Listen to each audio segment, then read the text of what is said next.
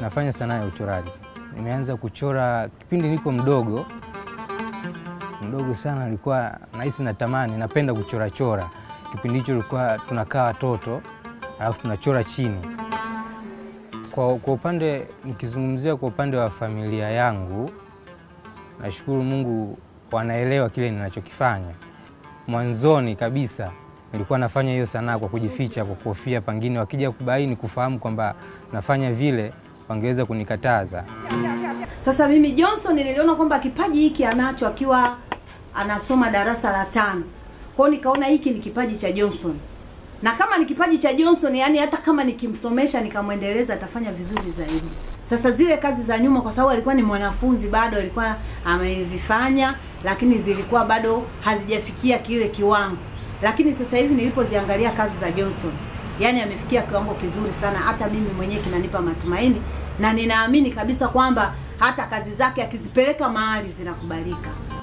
Kwa hapa Dar es Salaam ni, ninaishi na mlezi ambaye ni kama babangu yangu mkubwa, lakini pia ni mwalimu wangu wa sanaa. Ikitokea fursa yoyote kufanya kitu hicho, kwa sababu nimekuwa nimekufundisha mambo ya kuchora pamoja na kudesign kwa kutumia kompyuta, kuchora kutumia kompyuta, anaweza sana kufanya kazi kwenye Adobe Photoshop.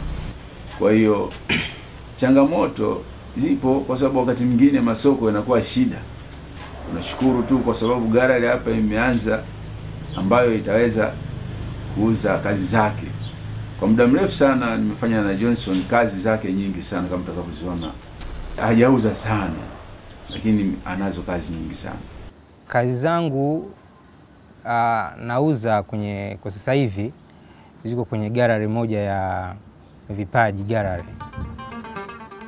Kwa hiyo hata kazi zangu napenda kuonyesha uh, kuchora namna mazingira ya Kiafrika zaidi. Picha yetu hapa inatuelezea jinsi gani maisha ya, ya, ya nyumbani ni ujenzi wa nyumba.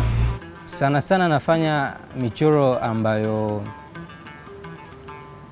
ni kama story, michoro ya story au picha zile za kufikirika. Ya, hii picha yetu ni, ni, ni, ni, ni uh, ndoto, naweza nikasema ni ndoto.